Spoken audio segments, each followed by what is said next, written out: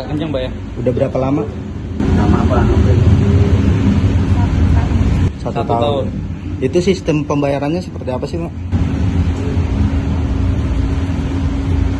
Transfer. Gimana? Transfer, transfer. Awal mula tertarik ini gimana? Ada yang nawarin atau gimana? ada yang nawarin Ada yang nawarin lewat apa? Instagram Instagram. Pelaku berasal dari mana deh? Untuk pelaku berasal dari Bekasi, Bekasi kota. Dan untuk pelaku ini upah dari endorse ini berapa?